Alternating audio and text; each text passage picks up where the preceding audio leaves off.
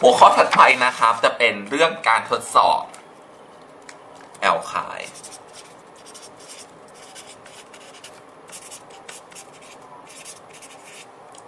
นะครับการทดสอบแอลไคน์นะครับ อย่างแรกคือเราต้องรู้จักสมบัติของแอลไคน์ก่อนนะครับ สมบัติของแอลไคน์นะครับ อย่างแรกคือ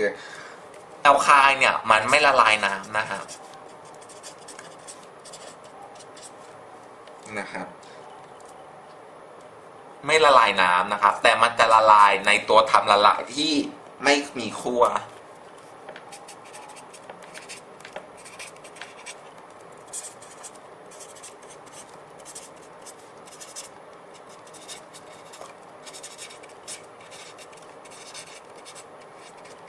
มีขั้วนะครับ ก็คือ เพราะว่าสารประกอบแอลคายตัวนี้มันเป็นสารไม่มีขั้วมันก็ต้องละลายในตัวที่มันไม่มีขั้วเช่นเดียวกัน มันจึงไม่สามารถละลายในน้ำซึ่งเป็นสารละลายที่มีขั้วได้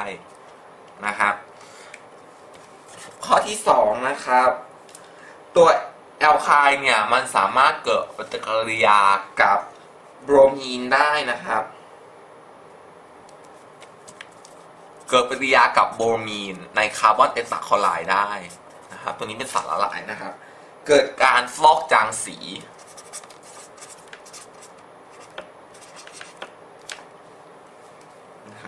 ซึ่งมันสามารถฟอกจางสีได้ในที่มืด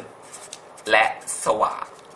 นะครับตัวนี้เองนะครับที่ใช้แยกระหว่าง alkane กับ alkyne ได้นะครับ เพราะว่าถ้าเป็น alkane นะครับ มันจะฟอกจางสีเฉพาะในที่สว่างเท่านั้น เพราะว่าที่สว่างเนี่ยมันมีแสงแสงสามารถไปทำให้เกิด homolytic cleavage ได้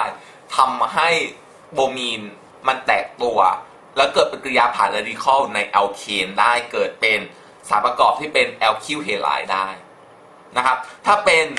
ตัวของ alkyne ตัวนี้นะครับ มันมีพันธะสามอยู่พันธะสามเนี่ยสามารถรับตัวโบรไมด์เข้าไปได้เลยเต็มๆเลยนะครับทำให้มันสามารถเกิดปฏิกิริยาทั้งในที่มืดและในที่สว่างได้ และที่สำคัญคือมันไม่เกิดแก๊สด้วย แก๊สที่ว่าก็คือไม่เกิดแก๊ส ไฮโดรเจนโบรไมด์นะครับ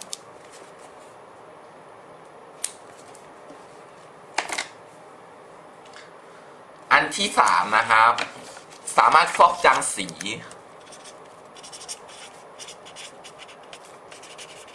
ด่างทับทิมได้โพแทสเซียมเปอร์แมงกานีสนะครับ เพราะว่าอะไร เพราะว่าตัว alkyne เนี่ยมันมีพันธะสามอยู่พันธะสามเนี่ยสามารถเกิดปฏิกิริยาออกซิเดชันกับตัว alkyne ได้นะครับ อันที่สี่นะครับ ที่บอกไปแล้วย้ำตอนสุดท้ายก็คือถ้าเป็น terminal alkyne เนี่ยนะครับถ้าเป็นตัว terminal alkyne นั้นจะทำปฏิกิริยาทำปฏิกิริยากับไอออนเงินนะครับ และทองแดงได้นะครับซึ่งสิ่งที่ได้ออกมานะครับมันคือตะกอนสีขาว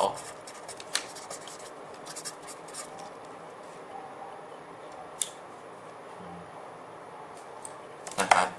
โอ เคไหมทำให้เราสามารถแยก terminal alkyl กับ non terminal alkyl ได้อ๋อพี่ลืมบอกไปว่าตะกอนสีขาวตรงเนี้ยนะครับ มันคือ silver alkyl นะจริงไหมกับหรือ copper alkyl นะซึ่ง สารสองตัวนี้ต้องระวังนิดนึงนะครับ ถ้าทำการทดลองในห้องทดลองจริงๆเนี่ยต้องระวัง เพราะว่าสารตัวนี้ถ้าทิ้งไว้ให้แห้งนั้น มันสามารถระเบิดขึ้นมาได้นะครับ ต้องระวัง แต่มันไม่ออกข้อสอบหรอกแต่เป็นเคล็ดลับนิดนึงว่าถ้าสมมุติว่าห้องแลบน้องมีให้ทำการทดลองเนี้ยน้องอยากทิ้งให้ไว้ให้มันแห้งแล้วกันนะครับ เพราะว่าแห้งปุ๊บเมื่อไหร่มันสามารถเกิดปฏิกิริยา แล้วปฏิกิริยานั้นมันรุนแรงมากทำให้เกิดระเบิดขึ้นมาได้ จะเป็นอันตรายกับน้องๆนะฮะ ครับ ก็จบเรื่องการทดสอบแล้วทวนกันอีกรอบหนึ่งชัดๆช้าๆนะครับ อย่างแรกคือ การทดสอบ alkyne เนี่ย alkyne มันเป็นสารที่มันไม่มีขั้วจริงไหมเมื่อมันไม่มีขั้วมันจึงไม่ละลายน้ำเพราะว่าน้ำเป็นสารละลายที่มันมีขั้วมันจึงละลายในตัวทำละลายที่ไม่มีขั้ว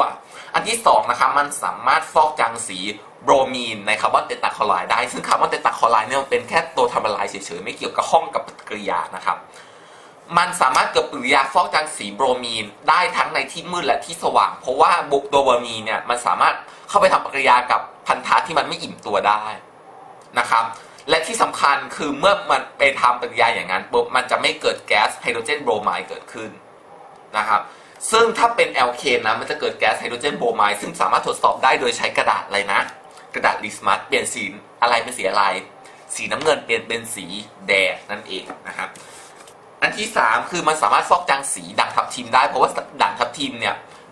มันสามารถไปเกิดปฏิกิริยาออกซิเดชันกับพันธะไม่อิ่มตัวได้นะครับอันที่4นะครับคือ terminal alkyne เนี่ยสามารถทำปฏิกิริยากับตัว silver และ copper ได้เกิดเป็นตะกอนสีขาว ซึ่งตะกอนสีขาวนี่อันตรายมากนะฮะก็จบเรื่อง alkyne โดยสมบูรณ์เรียบร้อยแล้วนะครับ